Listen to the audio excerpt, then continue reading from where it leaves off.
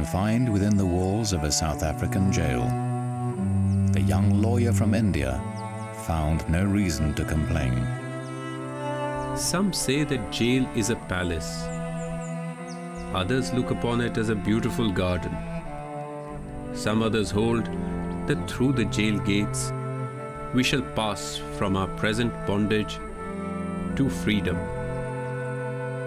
The year was 1907. The young lawyer from India was Mohandas Gandhi.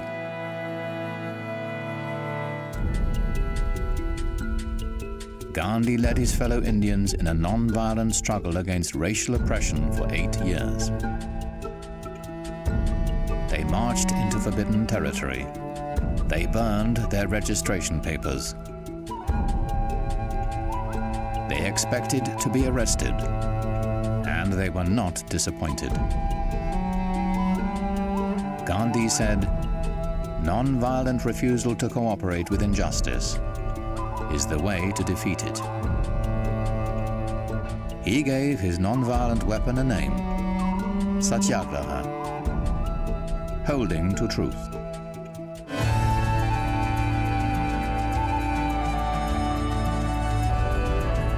In every decade and on every continent, underdogs have taken up Gandhi's strategies to fight for their rights and freedom. Nonviolence means fighting back, but you're fighting back with other weapons. The power that Gandhi discovered changed the 20th century.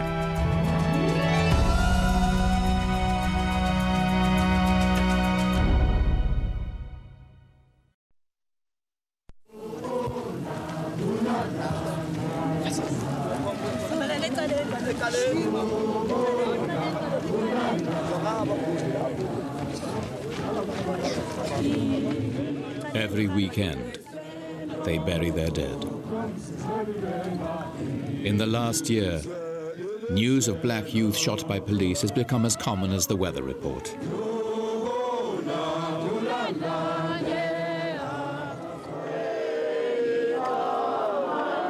It's been called an uprising. Millions of black South Africans have intensified their struggle for equality, an end to the legalized discrimination called apartheid.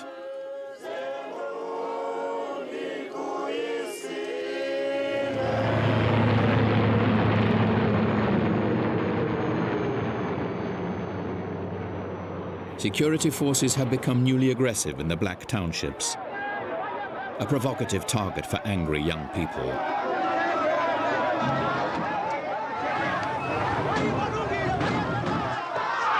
Even innocent bystanders are being caught in the deadly cycle of rising violence. And all the casualties are on one side. Appalled by the bloodshed, a new generation of township leaders is organizing, looking for more effective ways to fight back. Now, are, this unhealthy situation in Port Elizabeth, the 27-year-old Mkhuseli Jack has been a youth organizer since his teens. There was a frustration in the township as to what was happening. There was a, a serious confrontation with young people fighting with the police with their bare hands, uh, you know, and police shooting at them without mercy. And then he said, let us expose these policemen for what they are. Let us take this fight in the townships away and bring it right to their homes.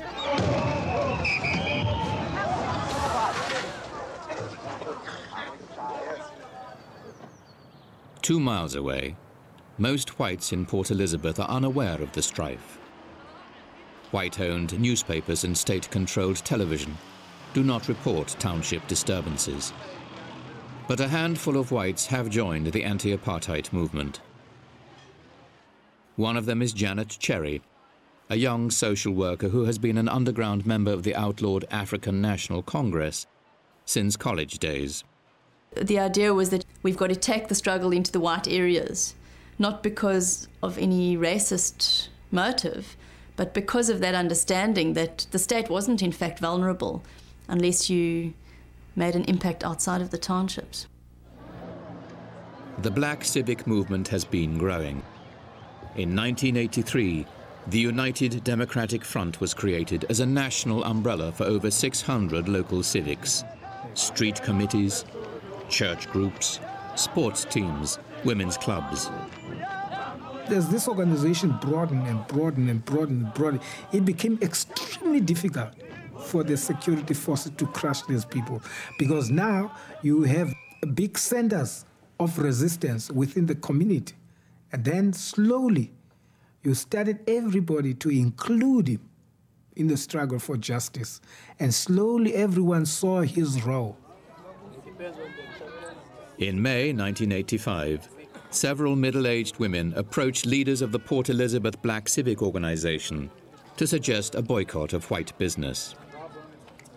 A consumer boycott has the potential to achieve Mkhuseli Jack's objective, to put pressure on the white community for the first time. Boycott organizers have only a few weeks to prepare. Half a million people must be persuaded to shop inside the township. The preparation was to tell the, to bring uh, the business, black business people in the townships and tell them that we want them to stock the basic necessities that will be needed for this long drawn struggle that we're going to face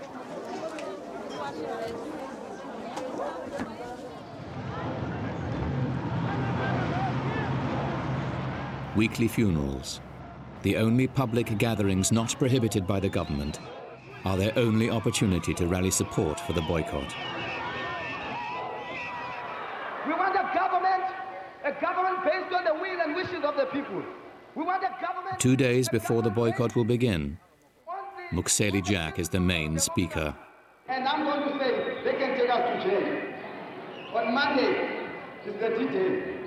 Monday is the D-Day. Monday is the D-Day. Monday is the D-Day. We will buy it down on Monday. We will buy it down on Monday. We will buy it in the box of matches on Monday.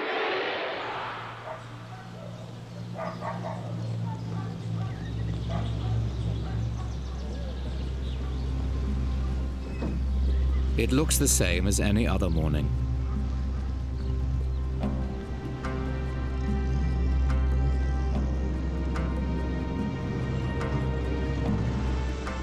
But by 10 a.m., the difference is obvious. The north end, normally jammed with black shoppers, is deserted. Observers sent to monitor the boycott report 100% compliance. The boycott is the latest tactic in a 10-month uprising. But in only five days, it has proven the most effective weapon yet. And it is spreading elsewhere. A genuine threat to the apartheid regime. This state of affairs can no longer be tolerated. The government has, in terms of the Public Security Act, Act 3 of 1953, decided to proclaim a state of emergency in the following magisterial districts. Port Elizabeth, Albany, Uitenhage, Cradock, Kirkwood, Somerset East, Adelaide, Fort Beaufort, Bedford, Alexandria. The South African army occupies the townships. Travel is restricted. Night and day curfews are imposed. Hundreds are arrested.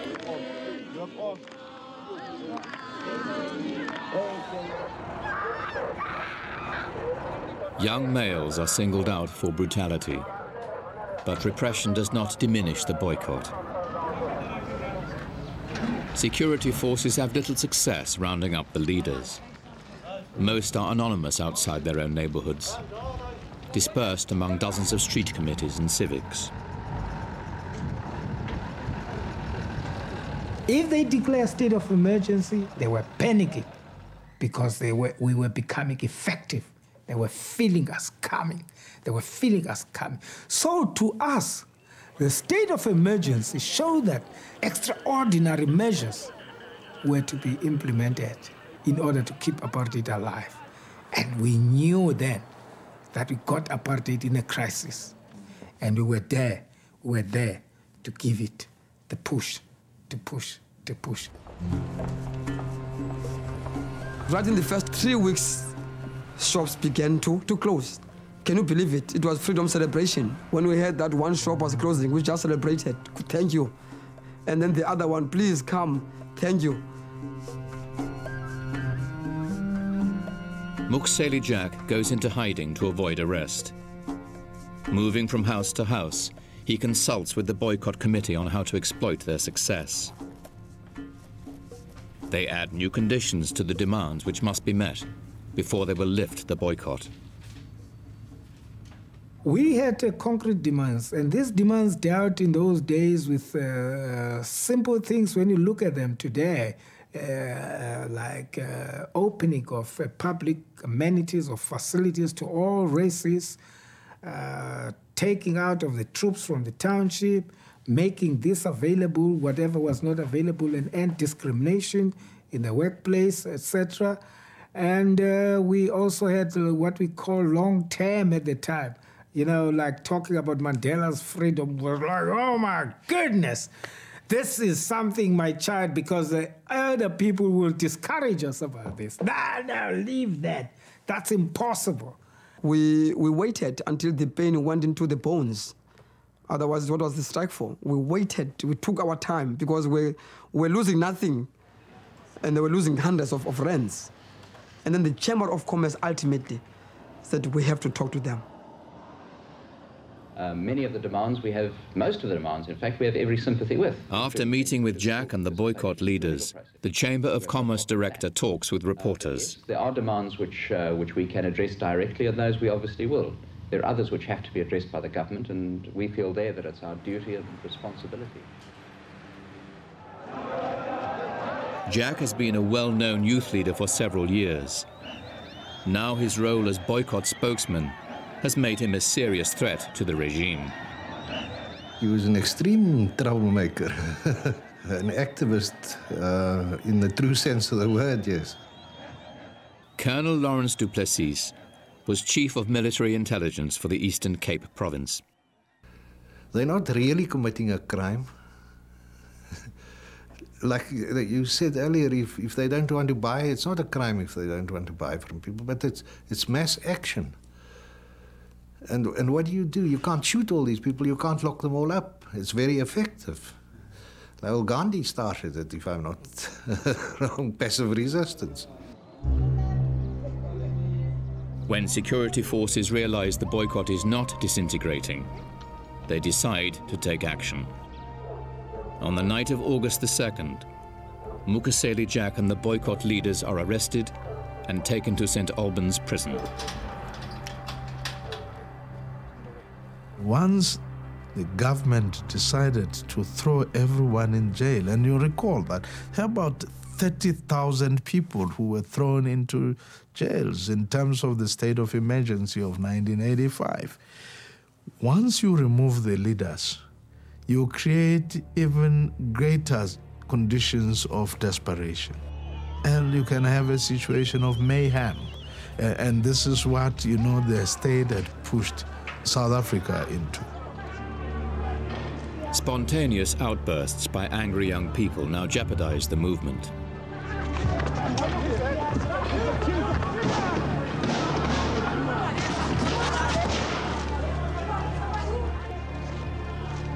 Among the few courageous enough to warn of the danger is a South African churchman, Bishop Desmond Tutu.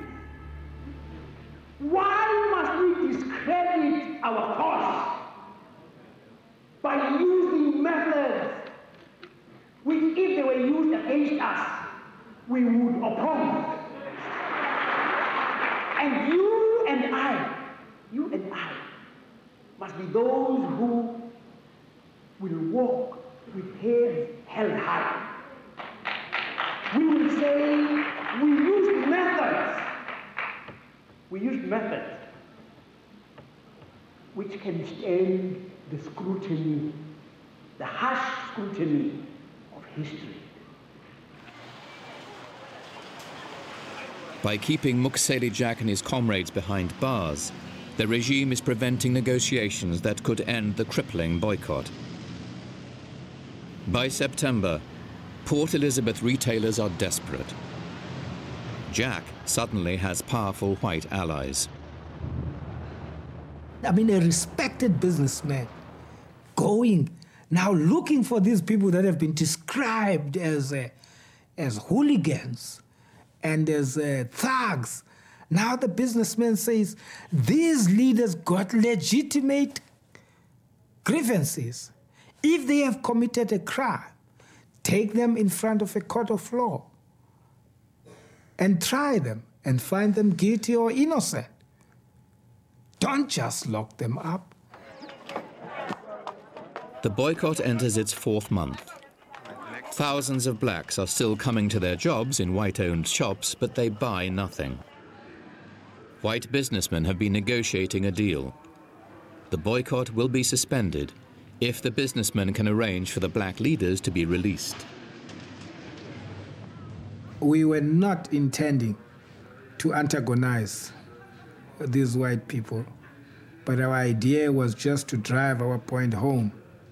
And uh, you see, when we stop it, of course, also, it served two purposes. The pressure on our constituency to go and shop for Christmas was going to lead to some cracks within our own uh, ranks. So we hit two birds with one stone, saved those people, and also kept our unity intact for the next fight. The Christmas shopping season is back to normal as businessmen begin serious negotiations with the boycott committee. Mkhuseli Jack and his colleagues have set a deadline.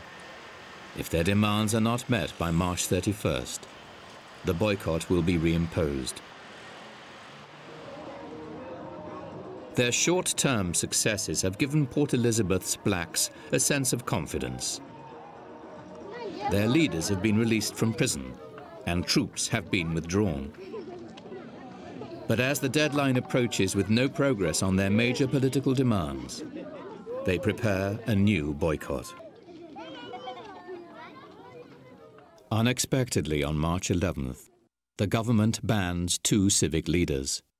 One of them is Mkhuseli Jack. The banning order is a form of house arrest, which halts negotiations. At that point, uh, there was uh, a build-up of international pressure, build-up, exposing that this was no more apartheid, small apartheid. It was complete fascism, because almost every paper was banned, every individual was banned. And if you remember that time, you were major corporations were running away. You know, it was embarrassing. Economic sanctions against South Africa are being debated in the US and Europe. Most governments are resisting, saying that state-imposed sanctions would hurt ordinary people more than the government. But now, as black South Africans call on Western governments to impose punitive sanctions, an exodus begins led by AT&T, IBM, GE, Ford, General Motors, and Coca-Cola. March 22nd, a Supreme Court justice lifts the ban on Mkhuseli Jack, saying the government has given insufficient reasons.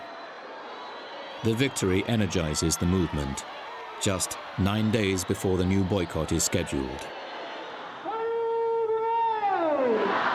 Jack tears up his banning orders, using the celebration to cement the solidarity they will need in the weeks ahead.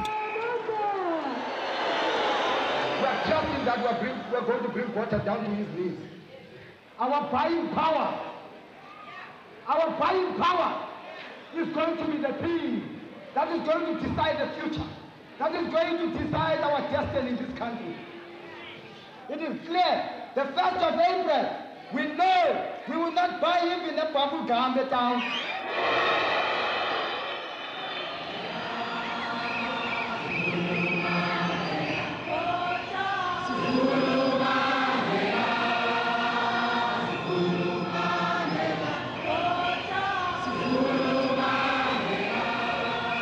The boycott is on.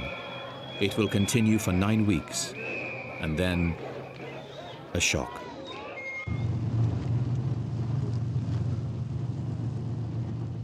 Security forces scour the black townships, arresting thousands. The government has secretly imposed a state of emergency. For hours, police raid the offices of black civics, trade unions, the UDF, the South African Council of Churches, arresting and confiscating documents. Peaceful protesters at the parliament buildings are dispersed and arrested. Damage to 11 church buildings 16 hours after the crackdown started, President Botha speaks in parliament. He cites intelligence reports on the imminent threat of armed revolution by the ANC and Communist Party. These revolutionaries are controlled by a power clique which is typical of Marxist regimes and which is interested only in a violent takeover of power. It is not possible for the reasonable majority to continue the research for a peaceful and democratic solution. It is the second state of emergency in less than a year.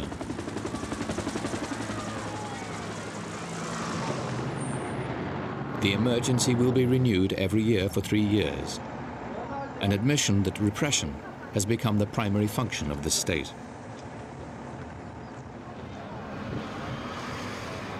Anti-apartheid forces are driven underground, but not destroyed.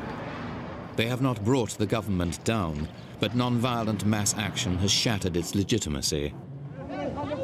The system of apartheid is no longer viable.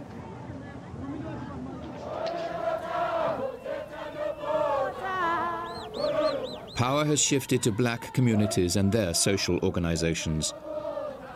The end of apartheid is only a matter of time. You know, there wasn't a, a, a principled stand against the use of violence, and in fact, it was widely acknowledged that the ANC was he was conducting the armed struggle. But it was, in fact, the activities of the UDF in mass organization which brought about the change in South Africa, really. That it was that, form, that mass organization which put pressure on the state to ultimately to change. I mean, that, that brought about the, the stalemate, the impasse where the state could no longer respond. The eyes of the world are presently focused on all South Africans. F.W. de Klerk becomes president in late 1989 after P.W. Botha is forced to resign. De Klerk acts quickly, unbanning political organizations and ordering the release of Nelson Mandela, who has been imprisoned for 27 years. By refusing to renounce armed struggle, Mandela has prolonged his imprisonment by years. During that time, the passivity that had once allowed apartheid to exist has been swept away by the spirit of a confident civil society. The armed struggle uh, came to nothing as far as I'm concerned. The people, the people brought it about. And pressure from overseas. That is what really, uh, in the end, made it clear and people understood that we couldn't go on, on any. That's why de Klerk had to take the actions that he took. In 1993, Nelson Mandela and F.W. de Klerk share the Nobel Peace Prize for negotiating a constitution that guarantees equal rights for all South Africans. They will soon face each other in South Africa's first democratic elections. Of kings, we before you, Father, appealing, asking for peace in the rest of the country. Lord of Lords, we before you, Father, appealing, asking for peace in the rest of the country. They have never in their lives voted, nor have their parents or their grandparents before them.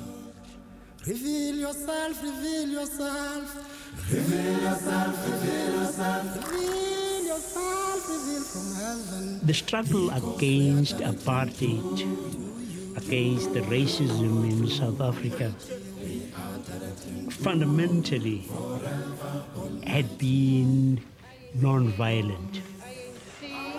We were inspired by what had happened in India, in, in Poland, in the civil rights movement uh, in the United States, what was happening in the Philippines. I suppose that human beings looking at it would say that um, arms, arms are the most dangerous things that a, a, a dictator, a tyrant uh, needs to fear. But in fact, no. It is when people decide they want to be free. Once they have made up that, their minds to that, there's nothing that will stop them.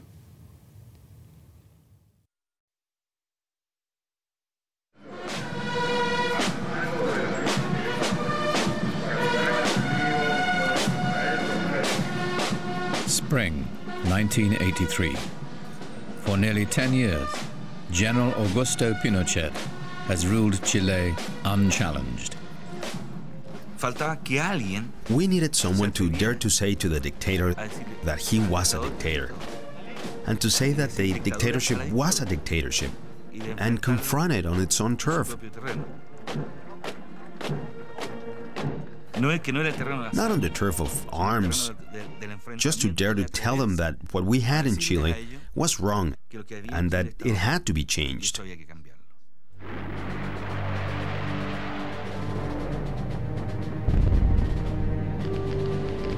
Pinochet came to power in a 1973 coup that left the elected socialist president, Salvador Allende, dead. During the first months of the military regime, the number of people detained in prisons reached more than 40,000. At least 3,000 individuals were assassinated, executed, or their bodies disappeared forever. Ruthlessly eliminating any challenge to his authority, Pinochet's rule cast fear into every corner of Chilean life.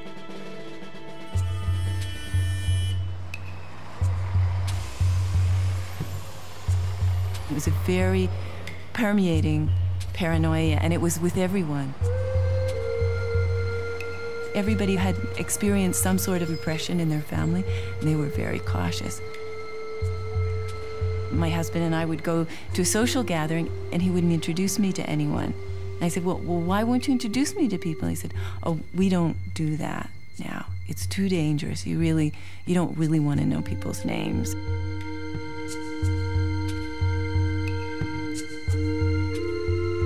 Fear, terror.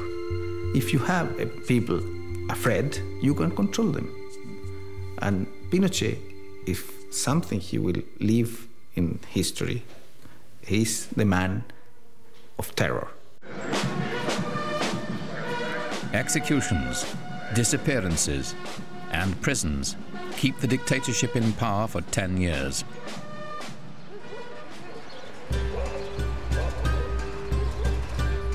By 1983, a severe economic crisis has pushed unemployment to 30%. As Chileans feel they have nothing left to lose, open opposition to the regime becomes thinkable for the first time. The first signs of opposition appear at the heart of Chile's economy, in the copper mines of the Andes Mountains.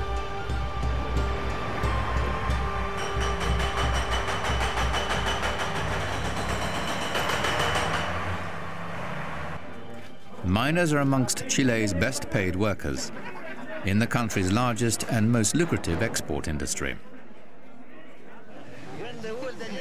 Their leader is 29-year-old Rodolfo Seguel, a payroll clerk at Chile's largest copper mine, recently elected president of the National Labor Congress. Seguel wants his members to take the first step, a nationwide strike. Ten years had gone by and nobody had gone out into the street. We had to see what reaction the country would have, and then to see if the country would dare to do this. Our goal was to open people's eyes and to tell them, we can do it. It is possible. We can do this.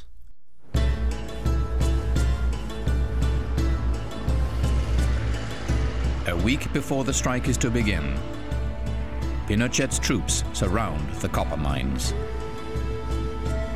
Seguel knows that there will be bloodshed if the strike goes forward. They change their plans. Instead of a strike, they proclaim a national day of protest. With only a few days to prepare, they must mobilize not just union members, but the whole population. I remember that morning. At the beginning, you didn't know if someone was walking slowly, driving his car slowly, or walking slowly on the sidewalk because he was just taking a walk or because they were protesting. Until finally at noon, it was so obvious. It was so obvious that everything was slower. It was so evident that the city started to close down.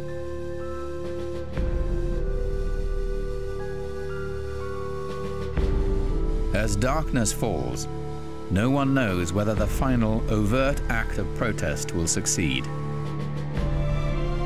At exactly 8 p.m., it begins, tentatively at first.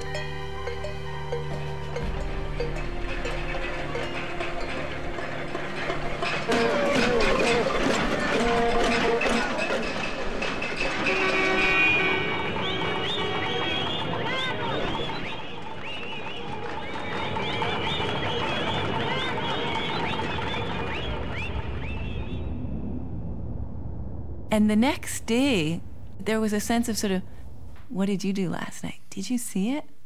Oh, yes, I was out banging my pots and pans with my neighbors. And so there was a real sense of, of complicity all of a sudden in a society where each human being had literally become a complete island.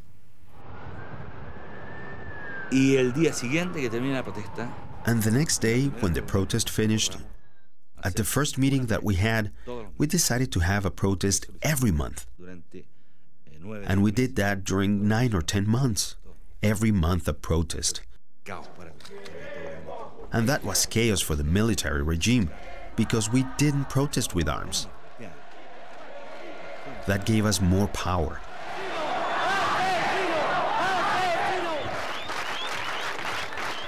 A mood approaching euphoria grows as the protests grow every month.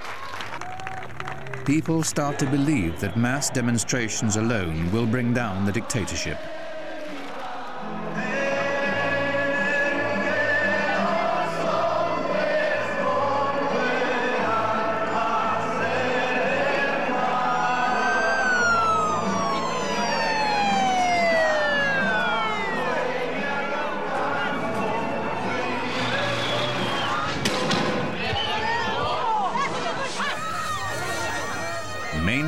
Opposition protests are strictly non-violent. Brutal police repression of the monthly demonstrations seems intended to intimidate, to stop the movement. But it has no effect. In early August, one day before the fourth protest is scheduled, Pinochet installs a new interior minister, Sergio Jarpa. Jarpa is instructed to begin a dialogue with the opposition. In a contradictory gesture on the same day, Pinochet deploys thousands of troops in the streets of the capital. An ominous prelude to the next day's demonstrations.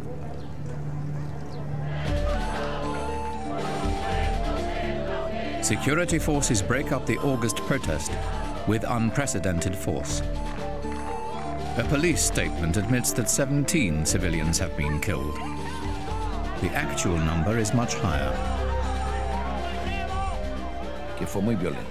It was very violent, and that's when I realized that we couldn't keep on going down this road. Because the violence was too strong. Pinochet had 16,000 soldiers on the streets of Santiago. More than 80 people were killed, and the population started to rebel. Shocked by the bloodshed, the new cardinal of Chile's Catholic Church offers to host the dialogue that Pinochet has promised. At the first meeting, Gabriel Valdés told me that he had to give me a document. And I told him that I would not take this document because it is an agreement that you drew up this morning, demanding the resignation of the President of the Republic. That you don't recognize him as being legitimate. And if the President of the Republic is not the legitimate President, I have nothing to do here, because I represent him. So this is where it all ends, right here. Buenos días.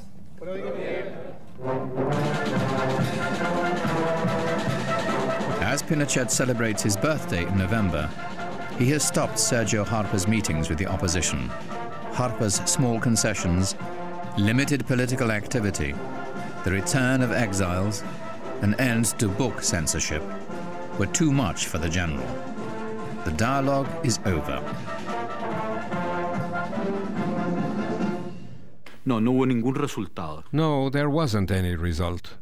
It was very No frustrating. cambió para nada el régimen. Y The regime didn't change at all, el propio, eh, el propio Jarpa después and Jarpa himself was left there as a politician with no importance. de ninguna importancia, diría. Eh, In fact, the control of the government passed on to much harder hands. Opposition groups have been naive to think that Pinochet would negotiate an end to his own power. Protesters have not loosened the dictator's grip, but they have shown Pinochet they cannot be crushed by force. And they have opened up political space they will use to organize against him.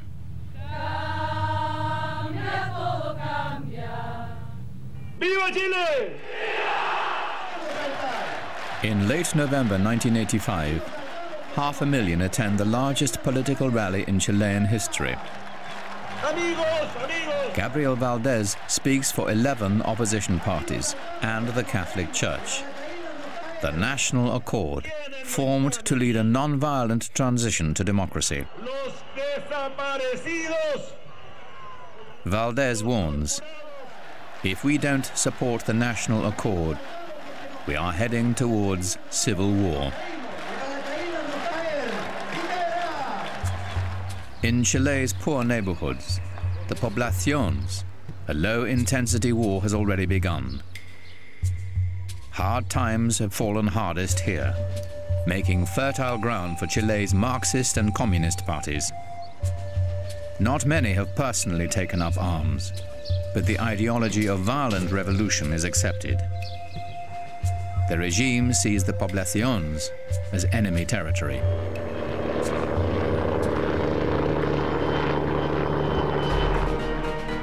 Young men in the poblaciones are rounded up, interrogated in stadiums and fields, and hauled off to prison without trial. Hundreds are never seen again.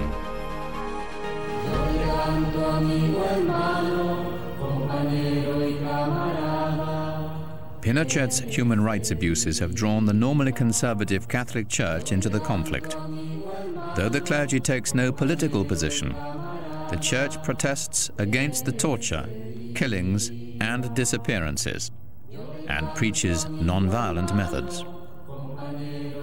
If you use violence, then you have to have the force to defend yourself. Whatever you impose through violence, you have to defend through violence. That's why we think that violence is the strength of the weak, because they don't have arguments. They don't have moral authority. So whatever you achieve through violence, you have to defend through violence. Monthly protests turn violent as the radicals confront police, handing Pinochet the excuse he needs to come down on all opposition. Mainstream factions are harshly criticized for their non-violent methods. In those conditions, when you are repressed by violence, of course, there are people that think that the only way to face violence is through violence. But that was, in our understanding, absolutely out of any possibility of succeeding. In late summer of 1986, the prospect of full-scale civil war becomes real. Chilean intelligence uncovers a cache of arms in the northern desert and traces them to a guerrilla group affiliated with the Chilean Communist Party. Markings show the weapons have come from Cuba. Pinochet says it's proof that his opponents are preparing a revolution. A few weeks later, heavily armed guerrillas attacked General Pinochet's motorcade on a remote mountain road. State news media report that five presidential guards have died, but do not mention Pinochet.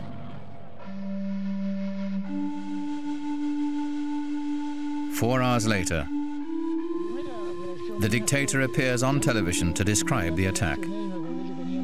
He appears unfazed by his narrow escape and returns to the presidential palace with his customary swagger.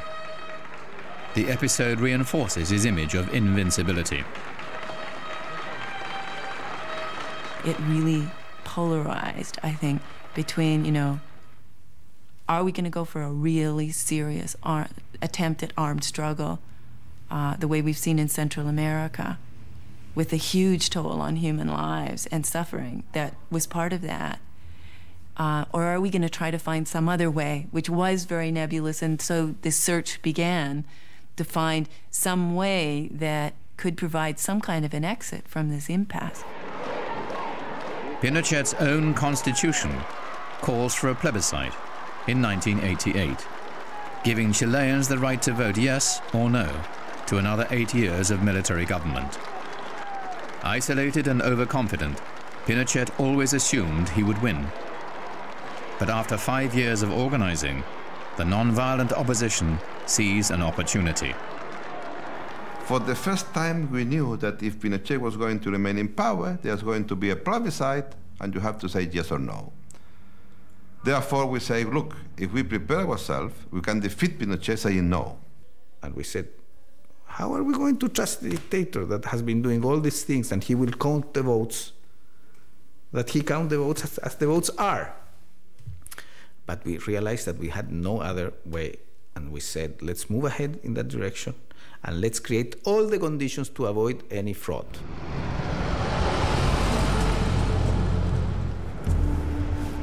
Thousands of volunteers take to the countryside in a door-to-door -door campaign to convince Chileans that they can vote no without fear of reprisal and that the results will not be rigged. They are greeted with suspicion and skepticism. To create the appearance of a fair vote, Pinochet and the generals write new election laws. Any opposition party that can collect 35,000 signatures will be allowed to have poll watchers, a critical factor to prevent vote fraud, and be given 15 minutes of television time every night for four weeks before the voting. And I said, look, if you register, I'm going to be on TV. And the day that I'm going to be in TV, I will tell to Mr. Pinochet that he has to go. Primero dijo usted, General Pinochet. After his party is certified, Lagos gets his chance when he appears on the Chilean equivalent of Meet the Press. He holds up a newspaper clipping in which Pinochet is quoted saying he will not be a candidate in the plebiscite. otros ocho años, con tortura, con asesinatos, con violación de derechos humanos. Me parece inadmisible que un chileno tenga tanta ambición de poder de pretender estar 25 años en el poder. His daring performance makes Ricardo Lagos a celebrity overnight. And his performance foreshadows the significance of television in the coming No campaign. Pinochet's vulnerability is human rights. The No campaign plans television spots to emphasize torture, death, and prison. But US political consultants advise them that dwelling on the fears of the past would be a turnoff. They developed a, a campaign uh, that was future oriented, um, a campaign that focused uh, on uh, bread and butter issues. Um, uh, and, um, and it was a campaign that ultimately uh, caught the Pinochet regime and the supporters of the yes vote by complete surprise when it was aired on the first night in that, in, in that last 30 days of the campaign.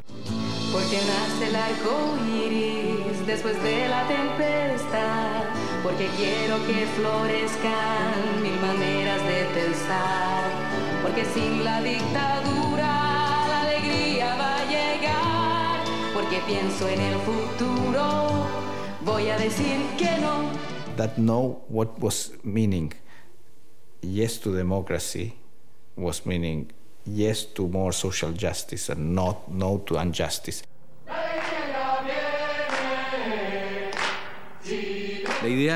And la alegría ya viene, meaning joy is around the corner.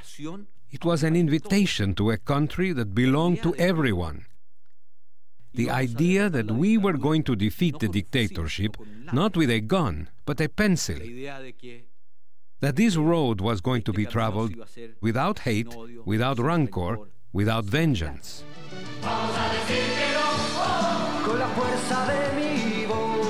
On television, the No campaign is a sensation. Images of a bright future without Pinochet. The TV spots earn credibility with skeptical viewers with compelling references to the suffering inflicted by the dictatorship. People used to rush home to watch those spots. I used to rush home to watch those spots. It was like, you know, 15 minutes where, you know, they use real words to say real things, you know. Torture is torture, and, and it happened here. And after all these years of denial, there it was for the first time on television. Poverty exists. Buenos días, don Aníbal. Deme dos marraquetas. Little old ladies don't even have enough money in their purses to buy a tea bag for their afternoon tea. Voy a llevarte también. ¿Cómo no? ¿Dos bolsitas?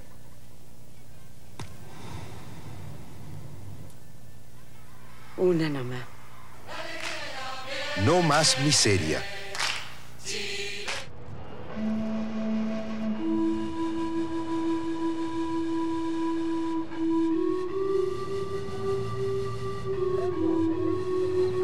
Información de este minuto para el diario de Cooperativa. Dice que a muy pocas horas de que se inicie el plebiscito en Chile,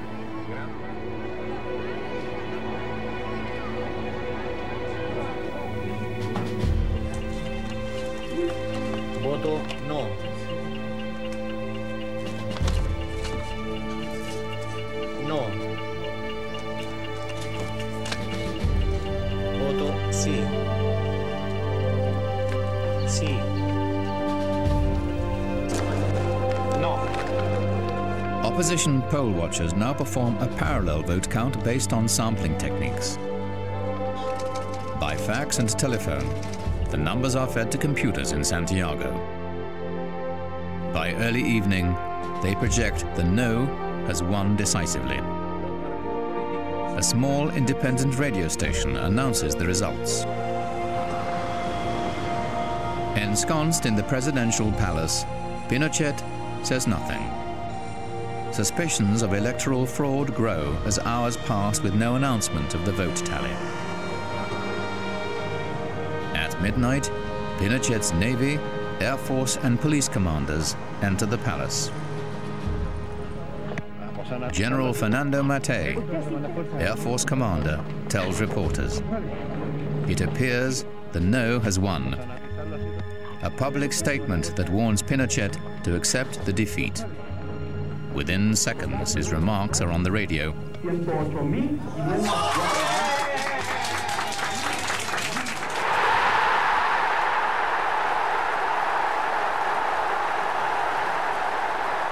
The great strength was that it did really come from ordinary, extraordinary people.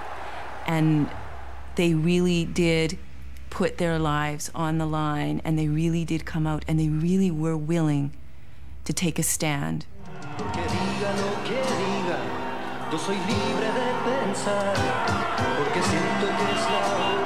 I think that we uh, in the world, we really live on power. And what we would like to is to live on authority, personal authority, moral authority. When you act based on power, well, if I have a gun pointed at me, uh, I'm going to say whatever you think and you want. After you take your gun off my head, I'm going to do what I want.